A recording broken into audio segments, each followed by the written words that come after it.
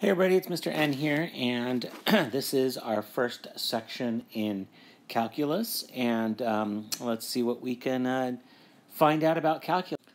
All right, first of all, the word calculus actually means pebble. It was a pebble. Oops, let me uh, erase that and write it correctly.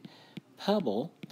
Uh, it was a pebble that was used by the Romans for calculating um, on a counting board. So they used the pebble to help them out. Um, we and when they had many pebbles, uh, they were they referred to them as uh, calculi.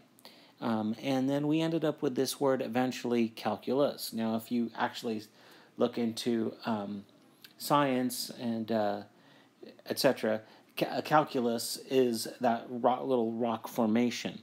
But going back to the origins of the word, um, it was just a pebble that they used um, on a counting board. And then we have so many other derivatives of the word calculator, calcul- calculation, um, and continuing on with that. And then later in the 17th century, Newton and Leibniz, who were two very famous mathematicians, and I'm sure you've heard of Newton, and we'll talk about Leibniz when we get there, but um, they developed uh, methods of uh, counting um, rates of change and things that are infinitesimal. And so we really uh, ended up with the word infinitesimal calculus, which is what we are going to learn. Um, but we call it calculus now for short. And the word means just that. Um, infinitesimal. So you'll have many, many pebbles, and continuing on with that. Um, in general, we say that calculus, uh, let's get my lightsaber over here, we'll do the blue one. Uh, calculus, it's very dynamic, so things are going to constantly change. And it's centered with change and motion, and it deals with quantities that approach other quantities. Now, um, this can go back again to 2,500 years to the ancient Greeks when they dealt with the very famous area problem. And um, they found an area, found the area of a polygon by dividing it into triangles. That was their method of doing it. But what happens when you have something curved? So if you have a curved object and you put triangles in it, well, that's not going to give you a good area. But you keep adding sides to it, you keep adding sides to it, you keep adding sides to it, and then you can make triangles within here by connecting, say, the diagonals.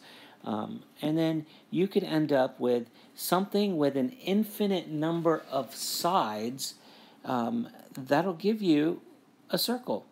Now, infinity is something tough to deal with. It's tough to understand. So, like, there's an ongoing mathematical question Is a polygon with an infinite number of sides a circle? Some say yes, some say no. And infinitesimal means, well, it's never going to get there. It's going to only get to be a circle at infinity, but infinity is not a number, it's a place. So, uh, the argument there is no. But then the argument is, well, if you take it out that far, it will be a circle. But in any case, if you do find the limit of it, it does end up being the area of a circle, which is pi r squared. And when we start talking about limits, you'll understand what I mean by that. But let me give you an idea of what a limit could be. And this is Zeno's paradox. And here's what he said Suppose I am here, and we'll say that this is Mr. N. You're going to have to love my drawing here and I am going to walk to this point over there. But each time I go, I'm only going to walk halfway. So I'll walk to this point. So this is a walk. I'm only going to go halfway each time. Zeno's paradox is if I only go halfway each time, will I ever reach this point right there where I'm trying to go? So if I only go halfway each time, let's take a look at what happens. On the next one, I'll go to here. On the next one, I'll go to here. And then halfway and halfway. Now, this is where I, in class, I would take a poll for you guys and say, would I ever reach it? Half of you would say no. Half of you would end up saying yes. Well, that's what a limit is. The limit is if I were to go and continue this forever until infinity, would I get there? At infinity, I would. But in reality, that's a no because I'm only going halfway each time. So that's kind of the representation there of what's going on and what this word infinitesimal means. All right, so that's the ba- that's the little basics of calculus there. Um, so now let's do some review, uh, since now we understand what calculus means and what we are going to study, which is basically rates of change, how things change um, as the equations change or as time continues to change. And because of that, we need to go back to the basics. Let's look at the four ways we can represent a function. So first of all, we have a function f um, right here. And you have been taught to write it as f of x.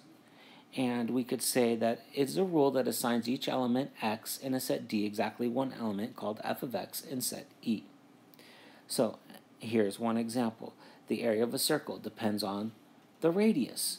The area is a function of r. So a of r. The area depends on the size of that radius. And that's what it's saying. The area is dependent on the radius. Uh, suppose we are mailing a package. Um, the cost of mailing a package depends on the weight. So uh, now I know now we have like certain sizes and you can fill up as much as you can, but typically the cost depends on the weight. So the cost is a function of the weight. And then we know what the domain is. It's all the possible values of x. We just reviewed that. We know what the range is, all the possible values of y's. The x we typically refer to as the input, and the y values will be the output.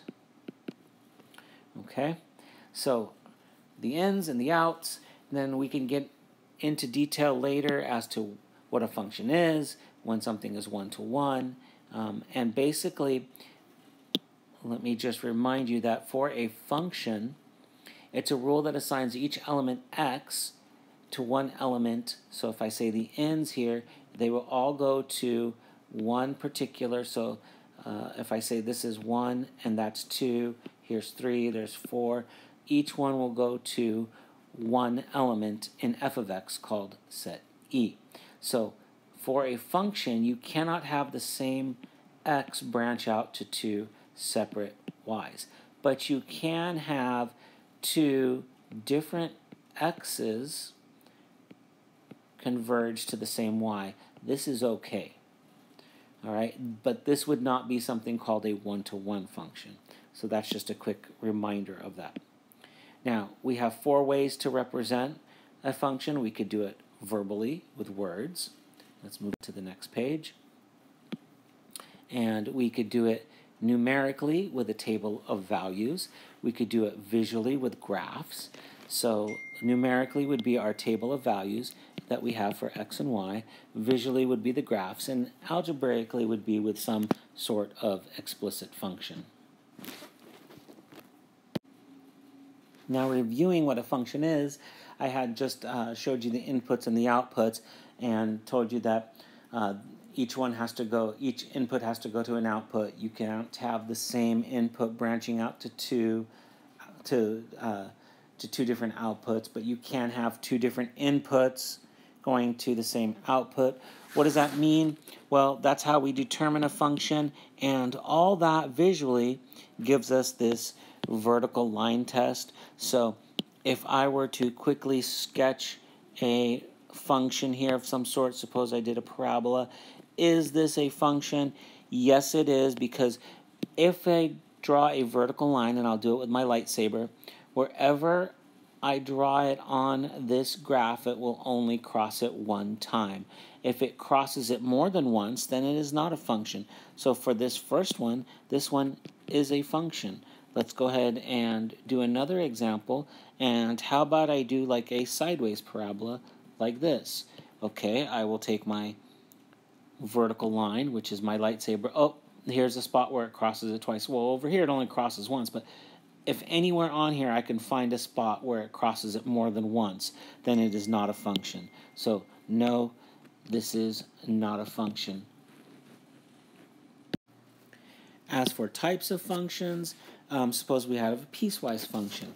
Um, we've done these in class. And let me remind you, let's go ahead and graph this piecewise function right here. And on this piecewise function, I have a border that happens at 1. So I'm going to kind of lightly put in something at 1 to remind you guys.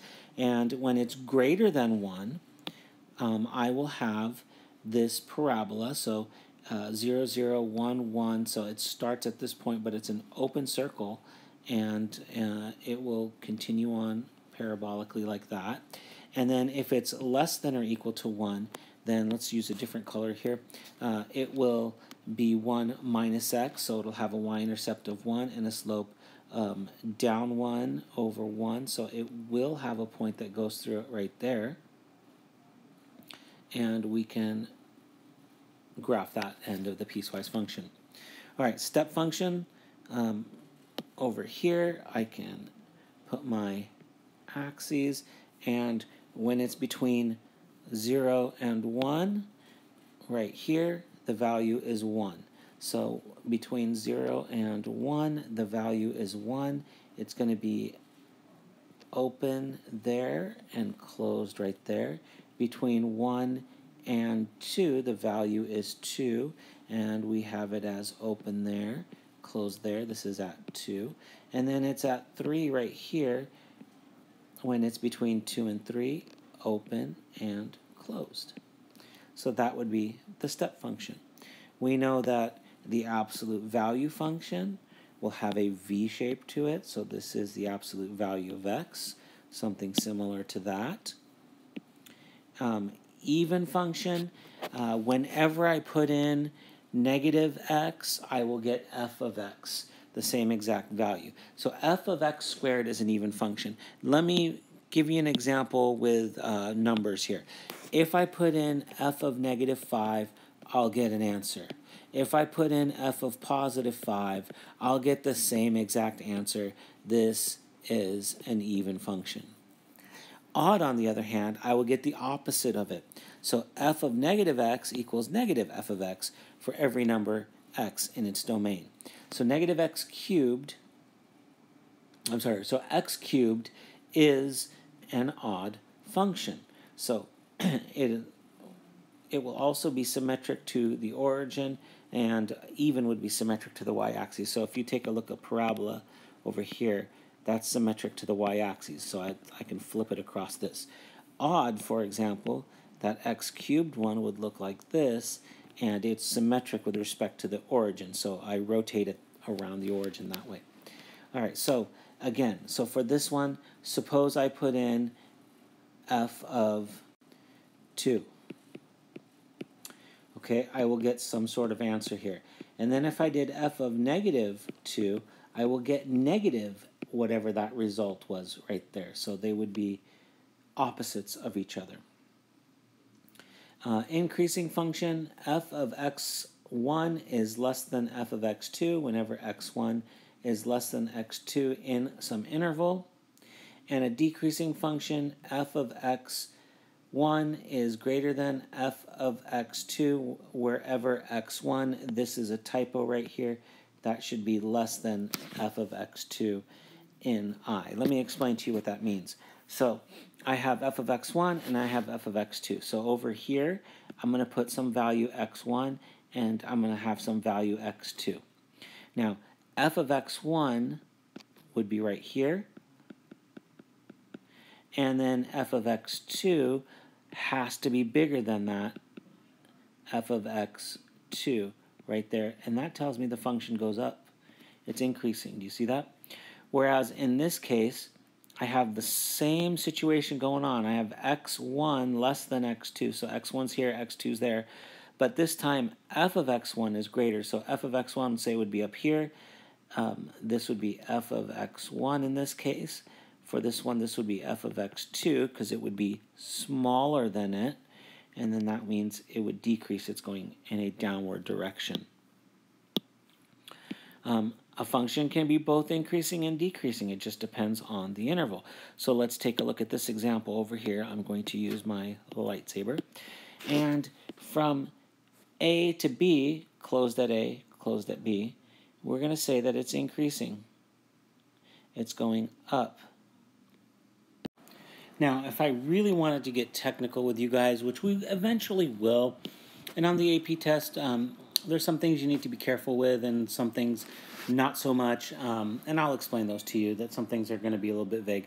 But on this one, if I'm at the point where it's horizontal like this, and it's neither increasing nor decreasing, um, I would have to have an open interval right there. I would have to keep that open, keep these open, and just say on the open interval here what's happening.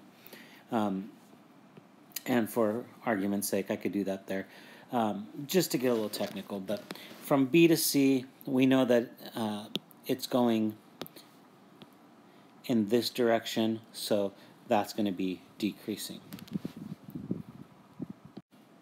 So in class, we're going to do the rest of the example problems that we have. But for now, I do want to go over, just summarize what we talked about. Uh, going back to what is calculus again? Well, we knew that it was, um, that we should be calling it infinitesimal, infinitesimal calculus, because it deals with infinite quantities, things that change, things that continually change over time. Just like when we did algebra, algebra was more about relationships. In other words, how does x, how is it equivalent to y in a particular equation? So we would say x plus 3y equals 12. Those types of things. Uh, we also cover geometry, which you uh, uh, you know, you got a lot of proofs out of that. But, but geometry, just in a sense, this dealt with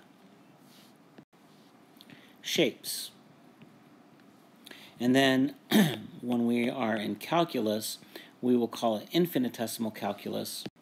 And as we said, this deals with change. So, deals with all these things that we've talked about, but as they change over time typically. All right, so that's what calculus is. Um, there is a lot more to it that's involved, but that's what the basics of understanding what we are going to be doing in calculus, which is dealing with things that change. All right, hope you liked the video. Um, give that uh, like button a big smash. Make sure you subscribe, and I will see you guys in the next video.